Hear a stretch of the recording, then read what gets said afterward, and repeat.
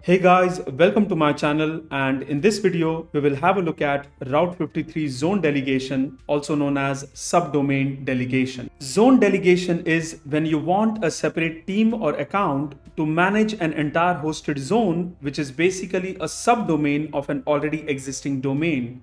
This can be a requirement for multi-environment application that uses a staging or environment name as a part of URL. Let's have a look at this practically.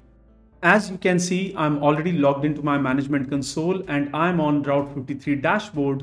From here, I'm going to click on hosted zones. For this practical, we will use cloudlabs.tk. For those who are not aware about how to register a free domain and manage it using Route 53, can have a look at my previous video on Route 53.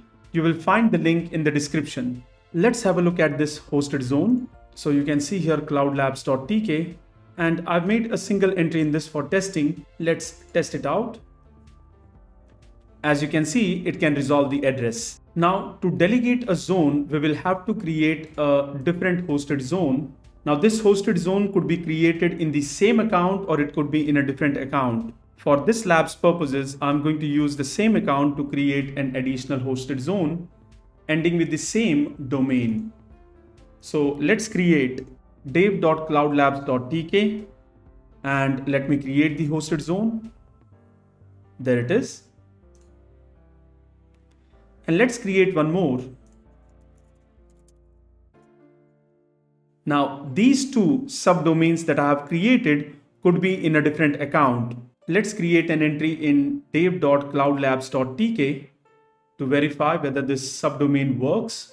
So I'm going to create a record that says app and the FQDN is going to be app.dave.cloudlabs.tk. Let's define this as the address and create a record. Let's check this out. I'm going to verify this address by sending a query. Let's see if this could be resolved. And when I do, you can see the execution was successful, but I was not able to get any address out of it. Let's try and understand why. So I'm going to trace this. And when I trace, you can see here, it is able to reach cloudlabs.tk, but not beyond it. So if it cannot reach dave.cloudlabs.tk, there is no way how it can fetch the address for app and that's the problem. You see, I created the subdomain, but the entry for the subdomain's name server is not available in cloudlabs.tk. That's exactly what the problem is. Let's do that.